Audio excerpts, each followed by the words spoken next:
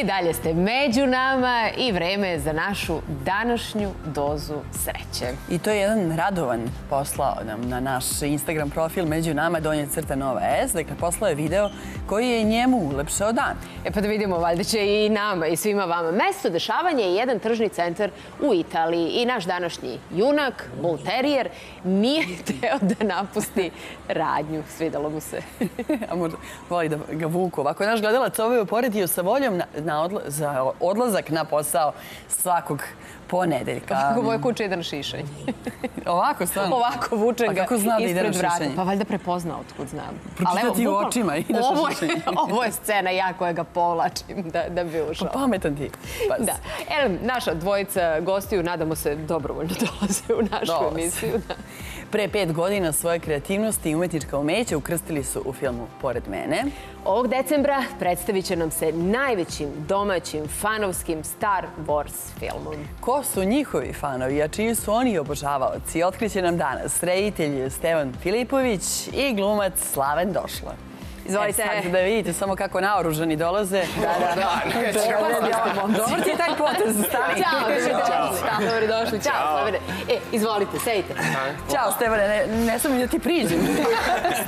Zašto ti imaš taj, taj dupli štap, a Stevan samo ovaj obični? O, ovo je Slavenov mač iz filma. Aha. A ovaj mač je koristila Jana Milosavljević koja igra malu. I ovaj, onda mi je bila ljubazna da mi ustupi za gostovanje. Tako Ali da... može da se tumači kao ova rediteljsko-glubačka Može, može hijerarhija. reditelj, to dolazi sa štapom, može da bude i ta. da, Ali da reditelj može i do nas da dobaci, tako da moramo da pazimo šta pitamo. Ako mu ne odgovara pitanje, možemo da dobijemo packu. E, a kad smo kod Packi, vi ste stvarno dobrovoljno došli, niko vas nije terao, niste puzali kao Ne, ovi. ne, ne, to je to. Ne, ne, ne, ne. E, a u vašem poslu, tom lepom, kreativnom, jel nekada se desi ovaj stepen entuzijazma kao kod ovog ono, da, da ti nije ni do čega, da otprilike moraju da te uvuku na neki projekat, na neko snimanje? Uh, Meni, Iskreno, meni je teško da odgovorim zato što mi je pogonsko gorivo entuzijazam za većinu stvari. I u principu, mislim, reditelj ima tu drugačiju perspektivu, pa zanimljivo je i čuti šta Slaven misli. Ja biram mahom projekte koje mogu da podnesem narednih godinu dana, šest meseci, dve godine, tri godine, kao brak neki. I onda mi je entuzijazam važan, Jesi rekao kao važan brak faktor. neki, Kao brak. šest meseci, godinu pa, dana. Mali brak, brakić. Bra- brakić. da, da, da, znači treba živeti s nekim ili nečim toliko Aha. dugo i treba da vam to bude zanimljivo u tom periodu. A to je dosta dug period, koliko god sad iz ove brak perspektive delovao kratko. Tako da ja biram projekte koji će me držati negde, koji će, sa kojima ću ja moći da, da evoluiram i koji će možda moći da evoluiraju zajedno sa mnom i svim tim drugim ljudima koji se uključe u proces. E sad ne znam glumački, jel pada entuzijazam ozbiljno u A nekom pa sa trenutku? Stevom, s- sa Stevom ne postoji ta prilika da ti padne entuzijazam, pošto on uh, vuče ceo projekat. A, uh, ali inače se dešava kada se preklapaju stvari. Za reditelji su malo drugačijoj um, poziciji i naravno zavisi zapravo i kako ko bira šta radi, jel? Zato što kod nas uglavnom ima puno više posla i to se često preklapa nekako. I onda u nekom trenutku zamora može biti to da neko te probudi u četiri ujutro i baš nisi najraspoloženiji, ali... uh, Ali onda dođe Steva i ti ali da, ali onda ako se desi, ako se desi bilo šta od tog nekog kreativnog momenta, ako se desi bilo šta od toga da zaista se napravi nekakav trenutak ko- ko- za koji svi radimo, a e, na ta neka iskrenost koju onda znamo da ćemo prenesemo posle, onda se sve to briše i tog trenutka se uključuješ u struju i radiš koliko treba. E, a je li ovo bio taj trenutak da svi radite uključeni na struju? Zato što imam osjećaj da je Stevanu ovo ostvarenje dečačkog sna nekog bio. ovaj. Da, pa je samo smo struju i imali s obzirom da smo svi volonteri, to ne pravu struju.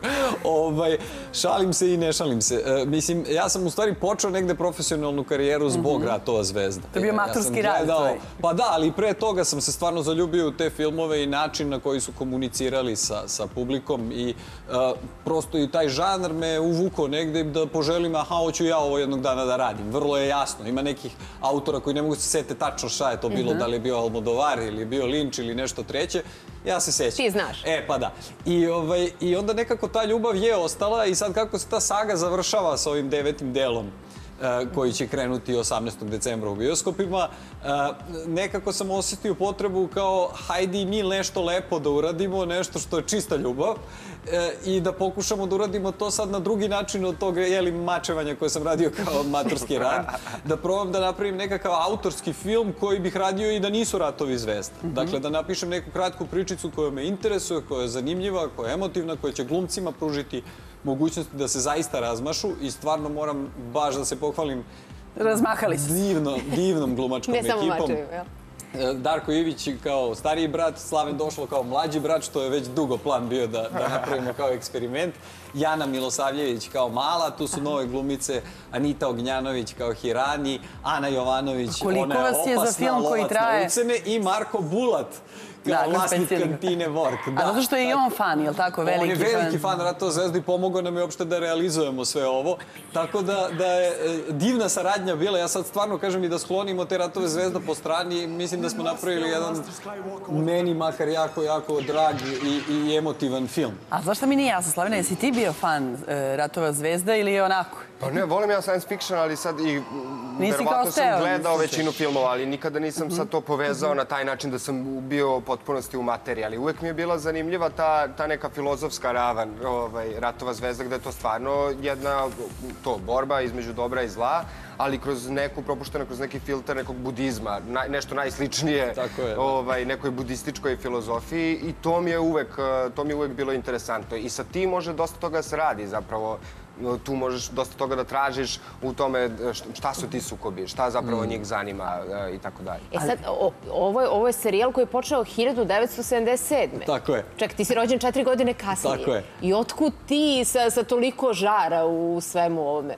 Pa- Što hoću da kažem, mislim, negde ti nisi odrastao uz to, je E, li tako? jesam na neki čudan način zato što su zapravo VHS trake, ko se toga seća, Aha. mlađa publika verovatno ne zna ni šta je to, su došle do mene. Tako sam ja prvo gledao Povratak Jedi, ovaj šesti deo iz 83. S tim si krenuo. Tako je, krenuo sam. Ali ono što je super, to je do, baš dobro pitanje, zato što ka- kao kako Ratovi zvezda uopšte uspostavljaju komunikaciju sa toliko publike, sa toliko različitih delova planete i generišu tu vrstu posvećenosti, ljubavi i tako dalje. A to je, mislim da je ključ u tome, u stvari u načinu pripovedanja koje je George Lucas, koji je autor Ratova zvezda, našao. On je istraživao komparativnu istoriju mitologije e, i čito je razno štivo, između ostalog upoznao se sa profe- profesorom Josephom Campbellom, koji je radio to kao zašto mi reagujemo na one jungovske arhetipove, zapravo ista mesta koje u svim kulturama e, jeli, reagujemo na, na, na sličan način i on je napravio neku priču koju komunicira više audio-vizuelno nego čisto narativno. I on je zapravo time došao dotle da u Japanu ljudi gledaju i obožavaju Ratove zvezda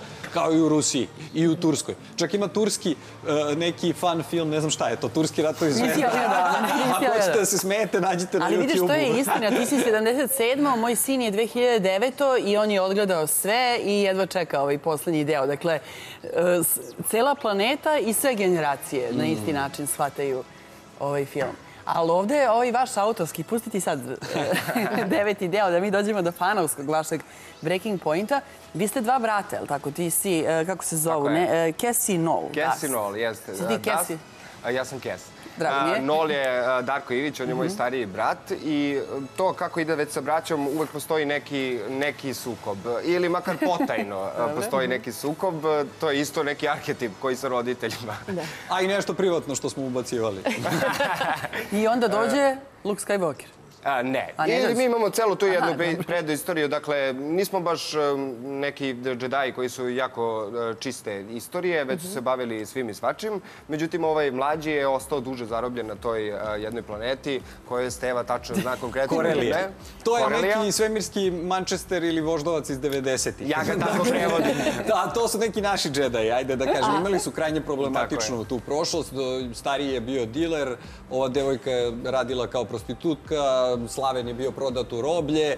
I iz te neke mučne porodične priče oni zapravo dolaze na tu eh, džedajsku akademiju Luka E, Skywalkera. ček, ček, jel ima, pošto smo oko filozofije ovde, ima li nade za te naše džedaje sa takvom predistorijom? Mislim da je to negde ključno to je pitanje. tema onda. filma, Da, zapravo. pa Tako je. pretpostavljam, da, da. Mislim da nekako u, e, posle svega, svih loših stvari, ipak na kraju se vraćaš na to e, spas, spas neki, uvek tražiš u tome što je ne, neka vrsta dobra, ali neka vrsta nečega što osjećaš kao, um, kao istinu i kao nekakav, nekakav uh, univerzalni zakon. A to se upravo dešava, ja mislim, i sa Kesom, da posle svega što, uh, posle svega što preživi, nekako se ipak vraća na to što jeste neka, neka nit koja ga drži, a to jeste taj džedijski kod, jeste ta obuka koja mu je pružila puno toga, u isto vreme i oduzela dosta toga. Zato što svaka mogućnost u isto vreme može da bude i prokletstvo, zavisi se to kako je iskoristiš. Jel? A je ti iskoristio tu priliku da naučiš da barataš sa tim? Apsolutno. Imali smo ozbiljne koreografske probe. A, tu nam je pomogao Slaviša mnogo. Slaviša Ivanović i Ska Team, to su najbolji Kaskaderi. kaskaderi praktično u, u Srbiji i šire. Oni se već rade hollywoodske filmove. Slaviša Ivanović je radio sa Nikom Gillardom koji je bio stunt koordinator na Ratovima zvezda. Tako da su oni stvarno nesebično ušli u ovo, oni su svi ti ljudi koji su nam pomagali kao producenti zapravo. A, I a, oni su, evo koliko ste imali pripreme?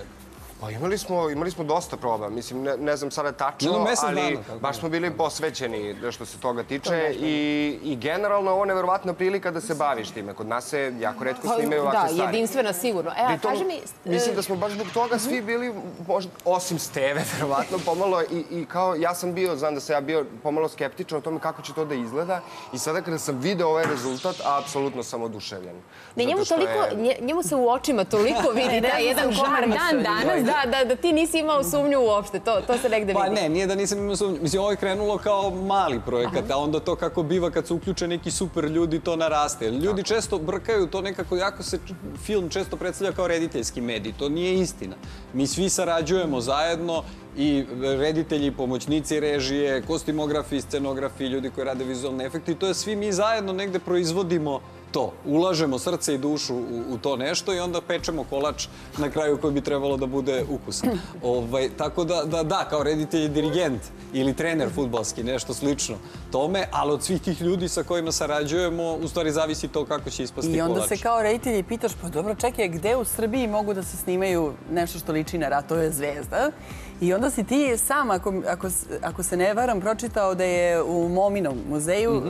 neko ocenio našu arhitekturu kao da je... Star za- Wars. Da, kao da je Jeste, Star pa Wars. bio sam u Njujorku i bila je baš ta izložba u Muzeju moderne umetnosti i dosta je bilo tih kritika koji su pominjali Mhm. konkretno Ratove zvezda, gledajući tu monumentalnu jugoslovensku arhitekturu, koja meni je inače zanimljiva zbog te istorije Jugoslavije koja mi je važna i mislim da je velika i mislim da na neki način guramo po tepih. Svi ovi neki nesrećni i mali ovaj, narodčići što su se iznedrili raspadom. Jugoslavije, da, sve to nekako to, to seć, kolektivno sećanje na u stvari možda najzanimljiviji civilizacijski i emancipatorski projekat na ovim prostorima, guraju sad po strani da bi te nacionalne identitete pumpali. E, ovo je moj doprinos kroz ratove zvezda koji komuniciraju sa svetskom publikom neko... Da i sebe pokažemo, Pa, kulturi Da. seće, da, da, da, tog na Jugoslaviju, ali šta mi možemo zapravo da uradimo. Vizualne efekte su radili naši ljudi iz Digital Crafta, koji opet rade na, na svetskom A nivou. muziku? Muziku su radili, eto je kombinacija, e, e, Aleksandar Ranđelović je uradio genijalan skor zajedno sa Nemanjom Rančićem i nemački kompozi- kompozitor Chris Schutze, ako dobro to izgovaram, je radio sa njima, tako da to je internacionalna ekipa, ali hoću da kažem da je 95% ekipe zaista bilo odavde i da su se ljudi stvarno sjajno pokazali. Mislim, imaćete priliku da vidite Pa da, ne, ne bude sad da ćemo, pričam. Da, samo da kažemo premijere sutra i ponovit ćemo to i na kraju razgovora, ali zbog mu, za, za muziku sam te pitala. Mhm. Zato što sada idemo do Novog razloga, Sada. Da, da. E, inače, Novi Sad je omladinska prestonica Evrope za 2019. godinu i u sad i u taj grad stigla jedna ozbiljna titula. Guinnessova rekord u sviranju klavira. Hajde vidimo.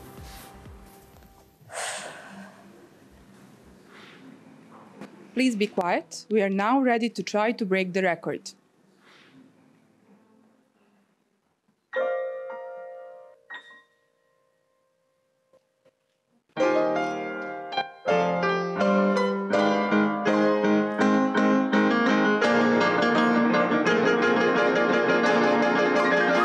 Da gradskoj kući organizovali javno obaranje rekorda. To je zapravo bila jedna od propozicija Guinnessa, gde su deca u punoj koncertnoj dvorani sa puno puno medijskih predstavnika, sa puno novinara, sa puno veoma važnih ljudi izveli tu kompoziciju, to je sve bilo snimljeno i bilo je emitovano na velikom video bimu ispred gradske kuće, tako da smo imali publiku i na samom trgu. Početkom decembra stigao je odgovor sudija. 23 đaka muzičke škole Isidor Bajić uspelo je da obori rekord u broju ljudi koji u isto vreme sviraju jedan klavir. To je bilo jedno lepo jutro kad sam otvorila svoj inbox i stigla informacija da vi ste sada nosioci rekorda i naša škola i Open se sada nalazi na zvaničnom Guinnessovom sajtu. Koliko ste ponosni? Ajde pokažite nam rukama koliko ste ponosni. Od 1 do 10 stoje. A pokažite nam ovako, rukama, koliko ste ponosni. Nema dovoljno velike ruke. Mališani uzrasta od 9 do 18 godina svirali su kompoziciju Zora koju je specijalno za tu priliku komponovao Ivan Marković, inače bivši učenik te muzičke škole.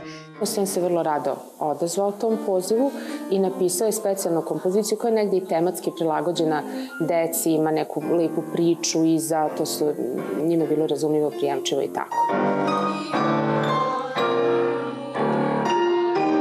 Ovaj projekat đaci su imali priliku da isprobaju sve što iskače iz standardnog okvira javnog nastupa, od sviranja jednom rukom pa sve do položaja tela u odnosu na klavir. Više satne u stvari probe svakodnevne koje smo imali bile u stvari fizički napor. Mi smo izlazili iz sale ovako kao kifle iskrivljeni, ali svaka čast deci koja su to sve izdržala i na kraju oborila Guinnessov rekord. Kad vidite zapravo koliko je rada iza toga i, i pripreme i organizacije, onda vam nekako bude, kako da kažem, normalno da ćete da, da osvojite. Naša ideja je negde bila i da prikažemo da mi nismo, e, to zvuči jako grubo kad kažem samo ozbiljni, ali da možemo da ponudimo i neki drugi sadržaj i da je to za nas potpuno dostižno. Ovi mladi ljudi uspeli su ono što su prethodno uradili srednjoškolci u Holandiji, Bosni i Hercegovini i Italiji. Čisto sumnjam da će Iko uspeti da obori ovaj rekord, jer nemoguće je, verujte mi, da više od 23 ljudi stane za jedan standardni klavir. Tako da oni su morali da budu gore, dole na klupi je sedelo njih sedmoro, osmoro, oni se nisu ni videli, jer mi koji smo stajali iza njih smo ih još preklapali, tako da potpuno je, kažem, bila jedna mm, akrobacija. Ovaj projekat ujedno je i dokaz da su mladima uvek otvorena vrata za nove ideje, a plaketa Guinnessa podstrek da ništa nije nemoguće. Anita Ikanović, Nova S. Svaka čast. Da, da, 23 ovim ruke na klincima. jednom klaviru. E, a sad je i premijera, dakle, te poslednje epizode Star Wars. S ka- S kakvim uzbuđenjem očekuješ? Ha, Pa, e, jedno čekam da vidim film, zato što mislim da se ovaj naš super uklapa nekako Aha, u taj film. Baš je priča sa strane zapravo i objašnjava neke stvari koje će biti, nadam se, dodatno objašnjene u ovom Rise of Skywalker. Posebno me raduje povratak imperatora Palpatina kao glavnog negativca sage, ajde da Pa kažem. ne, nego samo da ne da li se plašiš da kao u igri prestola, svi čekamo, čekamo i onda Pa to je uvek mogućnost. Mislim, niko ne može da ispuni ta očekivanja koje imaju ljudi koje se akumulira na 30-40 godina. Ali možda naprave dobar film. Meni će to sasvim dovoljno da bude nekako. 18. decembra kreće u ovim Cineplex bioskopima, mogu ljudi da pogledaju ostalim bioskopima. Tako da je, ono što je zanimljivo je da je naša premijera pre američke premijere. Wow. Tako da, eto, ako budu Koliki ljudi... smo mi fanovi. e, Da, fair samo da ne spojluju ovim kolegama preko okeana i vršnjacima. da im javljate, da, Da im ne da, kažu šta se bilo. desilo, da. Tako da, eto, jedno, ja jedno čekam, stvarno. Vidi baš- se, pa da. Da. E, a znači, a premijera vašeg filma je sutra u... Sutra u... E, naš, da, da, sutra je u Breaking bioskopu, da, je novinarska projekcija, premijera posle uz Rise of Skywalker, ali to je zatvorenog tipa. U stvari, publika će imati priliku da ga pogleda besplatno na YouTube-u već sledećeg dana, dakle od srede. Da. I još samo da nam otkriju za Pored mene dva. Da, To, će- to kad će fanovi pored mene, kad će Gospodina fanovi pored mene filma da odgledaju Pored mene dva? Čekaj, na, na onom IMDB piše 2021. Je li to ta Pa piše svašta. Pa zato te i pitamo. Mi hoćemo da Ono proverimo. što je sigurno je da snimamo od avgusta ove godine, odnosno sledeće godine, 2020.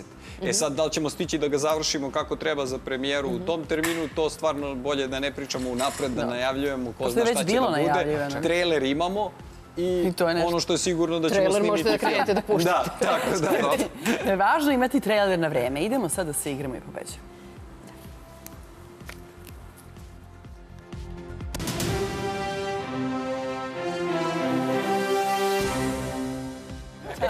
E, da, možete, ostavite mačeve. Slobodno, ostavite mačeve. Idemo sad u ovaj ovde deo i da vam opišemo ovaj, Tokom decembra igramo se za Music Art Project. Reč je u stvari za, o platformi za, za mlade muzičare koji nemaju dovoljno sredstava da, da se bave muzikom. Evo, jedan ovde, drugi tamo na, na onaj taster. Slavene, ti Hello. I, ovaj, I sada timu. e, naš cilj je da, da skupimo novac za njih. Do sada smo prikupili 90.000 dinara, danas se borimo za novih 10.000 dinara. Do kraja ove godine 220.000 dinara, to nam je negde cilj. Znači, mi vam postavimo pitanje, vi date tri brza odgovora za 5 sekundi i onda pritisnete taster. E, Stevan, Nam se nije teško. pa, Pa, e, to tajmer. da se zna da si dao završnu reč, Ajde ovde se ćeš čuje. imati 5 sekundi. Aj, zanimljivije. Da, odbrano. E, ajmo. Dobro. Šta, šta, šta, šta? Ne, ne razumem pravila. Dakle, e, prvo kažem tri brza odgovora, paralelno govorim. Ne, ne, ne, ti imaš svoje pitanja, ja pitanja. tebi postavljam, Aha, Maja. Dobro, dobro. Tako je. Ajde, krenite vas dvoje. Da mi, ajde, Da. ajde vi krenite. Ajde. Ovo hoćemo mi. Znači, e, da mislim da ćemo tajmer imati. Tri razloga zbog čega je bolje iznova gledati ratove zvezda nego bolji život. A, pu, dosadni su ovaj, sa 2658. reprizom Brže. RTS-a. Pa dobro, ne Nisi. znam, bolji su ratovi zvezda. Ajde, dva razloga, priznajem odgovor. Ne ovako, znači ne ovako, Znači, nego brzo. da. Brzo, brzo, brzo i pip. Evo, zbog čega je pas bolji prijatelj nego čovjek? Um, Obradujete se kad te vidi, um, jako ti se obraduje I mnogo te voli. um, mnogo te voli. E, tako Pa treba. s obzirom kako vam je bilo pitanje i niste se nešto pokazali. Ajmo sad mi ono baš. Ajde. Glumci te nerviraju kad? A kad kasne, kad ne znaju tekst, e, kad su glupavi. Postoje i glupovi glumci, ja? Aj, E, sad slušaj ovo. Ne, ka- ne kao moji glumci, ali ima neki ne, ne, ovo da. tuđi. E, Reditelji, glumci, da. te- reditelji te nerviraju kad? um, kad ih ne razumem, kada me nešto teraju da radim, ja ne bi i kada Kasne. su glupavi. Zato što je to jedino fair, u stvari. Jedini, jedini fair odgovor. Da, da. Tri stvari koje te najbrže izbace iz takta. A, površnost, e, glupost koju sam već naveo i neznanje. Bravo. Petao. To. E, Okej. Dobro, tri stvari- smo se, Ok, uhodali ok. smo se, a? ovo ti lako. Tri stvari koje mo- možeš da preliješ šlagom. Kafa, sladoled, kestempire. U, ovo ti je išlo lako, dobro, vidi. Kesten pire. Sve mi je jasno. Dobro. Jo, nadam se da vežbaš. Da. Dobro. Tri vežbe u teretani za biceps. U, pa ne znam, bench nije za bicepse, ali može ono što zovemo bicepsi, onda sa bučicama ovo ovako i ovako i nešto, ba, sad ne mogu da, kad čučneš i onda vučeš ovako. Prihvatamo to. Prihvatamo mnogo- Znači, najnepreciznije objašnjeno. Nema veze, opisno, opisno, da, to je važno. Tri pesme Zdravka Čolića. Um, čija je ona zvijezda, um, krasiva, uh, luda. Čekaj, da ja igram u mjuziklu, Zdravka Čolića, ne znam da znam sve pesme. Stevane, tri serije koje si ti binđovao. A, porodica Soprano, Six Feet Under i Wire upravo. Tačno se vidi šta su vaša pitanja. pitanja. I ajde sad, tri stvari kojima ne možeš da odoliš. Namerno postavljam polako pitanje. A, pa, uz... A, Isteklo mi je vreme. A pustit ćemo mi još jednom. A, Pa ne znam, priroda, muzika i lepa umetnost. Viš da možeš. Verujemo ti. E, sjajni ste momci, da vidimo. rekli, kad gledamo film? E, film gledamo Sutra. sutra u, počinje na YouTube-u da se emituje kad je i naša domaća srpska premijera filma Uspon Skywalkera, poslednji deo sage, tako da savršen način da uđete u Uspon Skywalkera, gledajte Prvo ovo na tačku razlaza, odnosno. Breaking. Point. Ja moram samo da se zahvalim jako, jako svojim kolegama, Darku i Ani, koji su bili e, strašno inspirativni. e, Dali su se celi, celi u ovaj film i nekako su mi puno pomogli da će ovo da izgleda ovako kako će E, sutra to da ćemo da vidimo kada odgledamo. Hvala i srećno vam ovo sutra. ovde je novac koji ste vi osvojili za, za Music Art. Je to dobro ili loše? ovo je super, ovo je maksimum, To je da genijalno. super je bilo. Hvala puno što ste bili. Hvala, Hvala momci, najlepše. Hoćemo da, da idemo sad u Crnu Goru sa ovom pričom? Pa moramo, zato što i ona drži dobro. rekord. Pa Dakle, imaju rekord, nekako nije fair da imamo. ih preskočimo. A koji rekord? Logičan nam je potpuno. Ajde. Broj korisnika mobilnih telefona, sve to prema istraživanju Svetskog ekonomskog foruma. E, koleginica Irena Radulović sa televizije Nova M pitala je građane Podgorice koliko mobilnih telefona imaju. To je normalno, jel? I mi smo uvijek u trendu. Ovako je odgovorio jedan naš sugrađanin kada smo ga pitali za komentar na to što je Crna Gora lider u Evropi, a četvrta u svijetu kada je posredi broj korisnika mobilnih telefona. Podaci Agencije za elektronske komunikacije pokazuju da je u našoj zemlji preko milion i 200 hiljada korisnika mobilne telefonije. U razgovoru za Novu M, psiholog Adriana Pejaković ističe da telefoni ne predstavljaju samo potrebu, već je za Crnogorce to izuzetno značajan statusni simbol.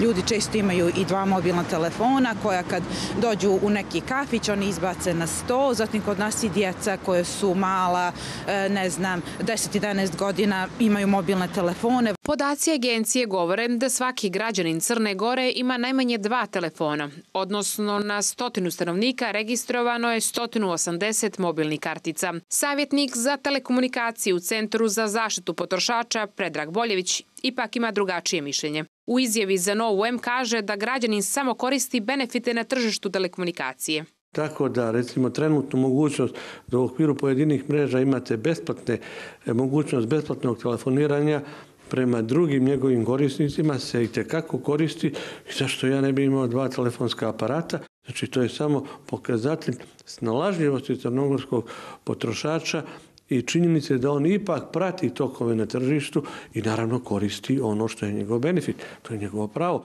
Sredinom prošle decenije mobilni telefoni su zakoračili na naše prostore kao stvar potrebe poslovnih ljudi. Godinama se situacija mijenjala i danas se ta nekada skupa igračka može naći u rukama svih uzrasta.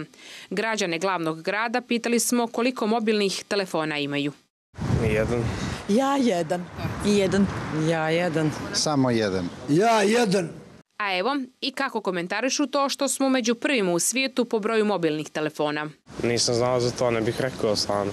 Mislim, bar među nama, momcima i djevojkama stvarno. Kako živimo ovdje, nije mi to nešto neobično. Pa ja mislim da je to malo ovako, malo primitivizma. Katastrofa. Crna Gora se razvija, ide naprednijim europskim tradicijama, prati savremene trendovi. Pa više moderne da se ima neko, ajde, kao neki bolji telefon i onda onaj manji telefon pored, kada se izbaci na sto lokal. A nemamo, a imamo na neki način. Poluđeš u djecu, samo bulje u telefonu. Stanovnici velikog broja zemalja koji u prosjeku koriste po dva mobilna telefona ipak ne koriste sve mogućnosti tehnologije. Prije svega imajući u vidu pristup internetu. Pokazalo je ovo istraživanje. Podaci ukazuju da najbolje rezultate bilježe zalivske zemlje, Katar, Kuvajt i Bahrein, gdje čak 99% odraslih stanovnika aktivno koriste internet. Naš sledeći gost piše i na srpskom i na italijanskom i odlučio je da pogled na Napoljski zaliv zameni pogledom na Panonsku ravnicu. I sigurno je najpopularniji italijanski pisac sa adresom u Srbiji, u Novom Sadu. Među nama je Mario Liguori. Dobro večer, dobrodošli. Dobro večer. Dobrodošli, Mario. Malo, e, gledala sam na vašem e, Facebook statusu kako su vas sve zvali. Gligorić, Gligorijević. Da, da, kako Gligorijević, sve? Ligorio, Marijan, Marko, ne znam. Navikao sam na te. Ali bitno da vas vole. Da, vole me, nema veze kako se zovem. To je onaj tamo koji se smeje na televiziji, koji kažu mi da lepo pričam. To je veliki kompliment. Pa Zato što ja sam stranac, da. Pa stvarno lepo pričate i onda bi mi trebalo da lepo naučimo kako se zovete, da kako se piše vaše ime. Da, Mario vaši Liguori. Da, vaši čitaoci to jako dobro znaju. Tako da, ja se nadam da smo vas dobro potpisali, nemoj da smo mi omanuli. Jesmo sigurni. Je li to ta knjiga, Nale? Da, to je knjiga koja se zove, e, možete čitati kao samo ubistvo ili samoubistvo. I vi ste rešili naslovom da nas već intrigirate. Da, pa to je, da, to je od početka ta igra koja treba da zaintrigira čitaoce. To je telegrafski roman, to je roman koji sadrži dosta igara onako reči i zbog toga ja sam hteo da se od samog početka vidi ta višeznačnost. Dakle, ovde imamo jedan thriller, napuljski thriller, sa tom napulskom mafijom u pozadini. E sad, ja sam... Divno. Dos... divno. Do sad sam pisao samo o tim pozitivnim aspektima našeg kraja, a sada prvi put imam obe strane, zato što je takav naš svet. Ja, znate što mene zanima? Kako vi iz te naše mirne Vojvodine pišete o napuljskoj mafiji? pa vidite, ja mnogo putujem i često sam u zavičaju. I kad nisam u zavičaju, onda mi zavičaj nedostaje, onda pišem o njemu. I sad, u mojim knjigama uvek imate neke fine atmosfere. Ja stvaram tu atmosferu uh, koju sam video, doživljavao kad sam bio mali. I to je razlog zašto može u Vojvodini na, da nastaje tako nešto. Ali jeste, kad kažete detektivski roman, onda se to uglavnom odnosi na samu radnju. Ko je koga ubio, da li je ubio, a o, kada čitate samoubistvo, to je mnogo više od toga. To je zapravo priča o mentalitetu, o istoriji, o nečemu gde mi odavde možemo da se prepoznamo. Kad kažete sve ja, javne stvari ne smeju biti jasne. dakle, I te kako se Tako je, prepoznamo. u tom onda, da. pogledu moji čitaoci treba da znaju da je ovde stari Mario, dakle da sve te pozitivne uh, osobine ono, koje su prošle, koje su postojale ranije, one su i dalje tu. Ali sada ovde imamo nešto drugo, zato što je novo štivo i onda je meni bilo potrebno da prosto drugačije pristupim i jeziku. I uh, ova priča o jeziku je veoma važna, zato što treba malo da se vidi uh, kako, kako treba da teče jedan thriller, koji je ritam kazivanja, zvuk ritma, prosto e, sa tim igrama i ja mislim da, je, da, da će to biti vrlo zanimljivo sutra na, na promociji knjige, pošto je sutra uveče u Delfi kafeu. Tamo U šest Delfi sati, sekreca- u šest sati U šest sati. da. I mislim da će biti pravo iznenađenje. A Mario, e, verujem da ste negde već stekli utisak. Mi ovde Srbi, gledajući televizijske serije, čitajući knjige o Napulju, o svemu što se dešava u tom kraju. Jesmo li na, na pravom tragu? Da li negde ispravno razumemo i taj mentalitet i Napulj i život koji se dole odigrava ili, ili imamo neke zablude? Pa ne, mislim da, mislim da je ta stereotipna slika, ta prva slika o suncu, o moru, o hrani, o muzici, mislim da ona stoji, ona je važna i ona predstavlja onaj alteritet koji čovek nema u Srbiji i zato je to egzotično,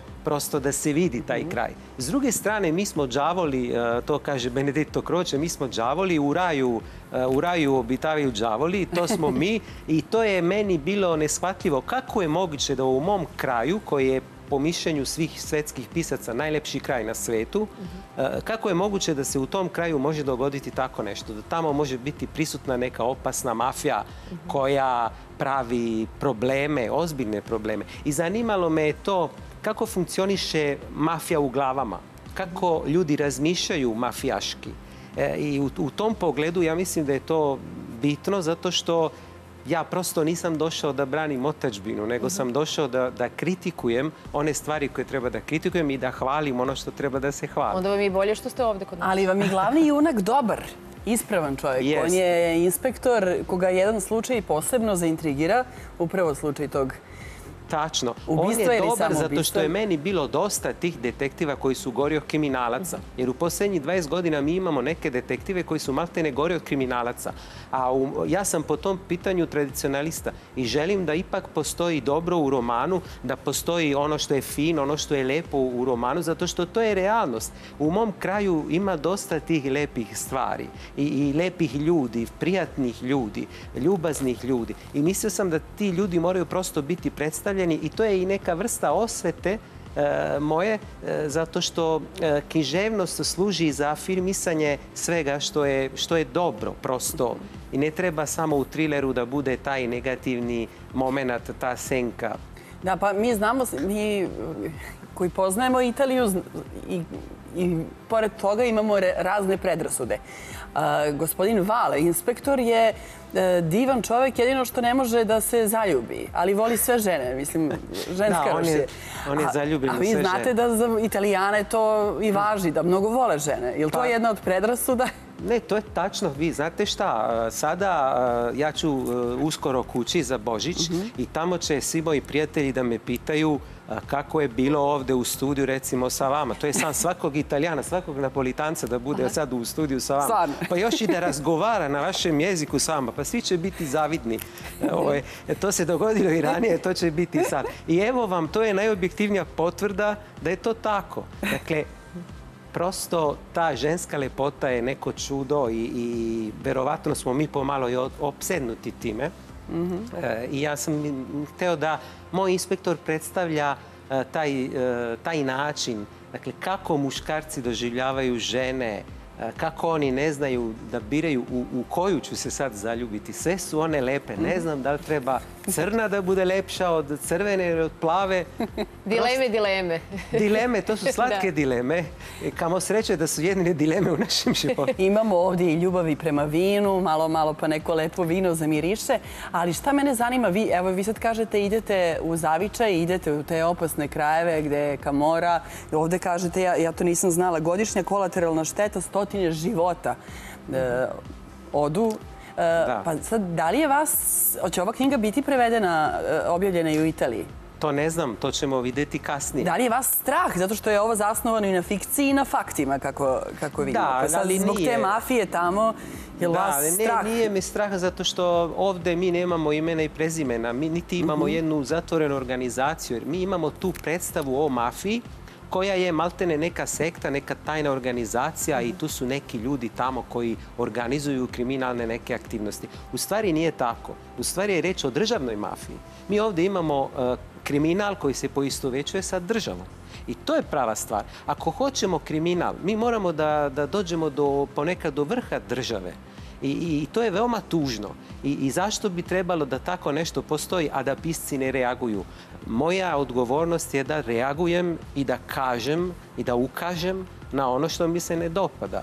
I mislim da je to zbog moje velike ljubavi prema zavičaju. Znate, ja bolujem od zavičaja i to je, to je nešto što me prati u životu gdje god se nalazim. Ja sam živio i u Skandinaviji, dosta dugo sam bio van Italije i uvijek sam mislio stalno na, na taj zavičaj i na to djetinjstvo koje je kao i za sve ljude za uvijek izgubljeno, ali ja prosto imam taj problem, to mene tišti i, i, i peče me i to je poluga moje književnosti. Pa što se ne, ne vratite?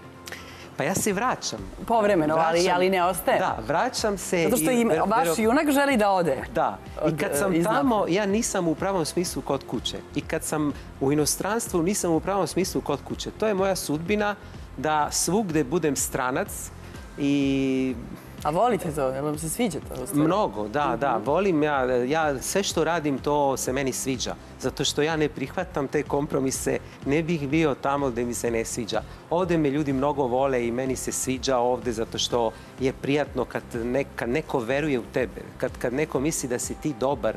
Ta priča o dobroti je važna zato što sam u djetinstvu vidio dosta nasilja i shvatio sam da to uopšte ne valja u životu i da mi treba kroz rad da afirmišemo te pozitivne vrednosti, te lepe životne stvari koje nam se događaju. E sad, Mario, dok ste pričali ovako ukratko o romanu, ja nažalost ga nisam pročitala, ali negde deluje mi da, da mi ovde u Srbiji tekako možemo da se identifikujemo sa, sa tim problemima koje ste Mafija vi izneli. to. Mafija, država, ta, te neke spletke koje se dešavaju. Vaši prijatelji, svi oni koji su već imali priliku da, da pročitaju samoubistvo ili samo ubistvo, Samoubistvo. ka- kako god to već interpretirali, šta kažu? Jel, jel, Da, oni kažu da, da čitaju, ponekad čitaju roman o Italiji, a događa im se da izgleda kao da je Srbija. Mhm. Zato što mi imamo dosta lepih zajedničkih osobina, ali mi imamo tu zajedničku psihologiju klana maltene. E, Da stvaramo kružoke, da neke zatvorene e, krugove, e, gde će biti sve po principu ja tebi, ti meni. Meni je rekao jedan čovjek u Bosni, ja tebi, ti meni, nikom ništa. To je ona priča. Događa se u Srbiji, moraš da poznaš onoga, pa onda ćeš biti preko veze, ćeš doći do ovoga i tako A tako dalje. i u kampanji. E tako je u kampanji. Mnogo je tako u kampanji. Ako si poznat, onda je u redu. Ako nisi, ako si stranac, moraš da se paziš. Ima dosta surovosti, to sam htio da kažem. Ima dosta surovosti i u Srbiji i u Italiji i mi moramo da se borimo protiv toga, zato što naša društva zaslužuju nešto bolje. Mi moramo biti bolji. Ali to ne znači da sada ovaj roman je sada samo neka mračna priča. Ovdje imamo te lepe mediteranske atmosfere, vino, džez i more. I te sve. žene koje ste pomenuli? I te žene koje Da. su lepe svugde. Znate šta moramo? Moramo da čitamo dobre knjige i Mario Ligori, samo ubistvo je stvarno jedna od tih. Tako da mnogo vam hvala što ste Hvala bili naš gost. Srećno sutra dođite na sutra. promociji. Dođite sutra u šest u Delphi Cafe. Mi ćemo biti opravdano odsutne. Ovde. Ali vam želimo jako, jako uspešnu promociju. Hvala, ja ću da, eto, kroz vazduh ide ta lepa veza. I tako, ja ću da osetim energiju sutra. E, I javite nam šta su, nam šta su vam u Napolju rekli za nas dve. A, Da, da, da, oni će sigurno reći sve najbolje u vama. Hvala, hvala. Pozdravite ih Mario Ligori je bio među nama. A Zdravko Čolić je zvanično oborio rekord. To je treći, treći rekord, rekord. U, ovoj, u ovoj našoj emisiji. Dakle, u petak i subotu arena je u Beogradu bila prepuna tokom trećeg i četvrtog Čolinog koncerta. I sad, posle ovih koncerata, i zvanično je oboren rekord, Zdravko Čolić je zvanično pevač sa najviše rasprodatih arena. I ove večeri završio pesmom Kuća puna naroda, ali tu neće stati. Svoju vernu publiku na istom mestu čeka na još dva rasprodata, verovali ili ne, nastupa 27. i 28. decembra na kojima svi oni koji dolaze očekuju da im Čola peva istim žarom. I 28. je rasprodat. I 28. Znači, bit će i sedmi, ko što je Peca Popović i rekao. Peca je znao nešto. Predvideo je nešto. Da. Vi ostanite uz nas. U našoj temi dana bavimo se slučajem nestalih beba. Tačnije, novim ekspertskim timom koji istražuje ove slučajeve. Naši gosti će biti profesor dr. Goran Belojević sa Medicinskog fakulteta. On je na čelu ovog novog tima. I Ana Pejović iz Udruženja nestalih beba.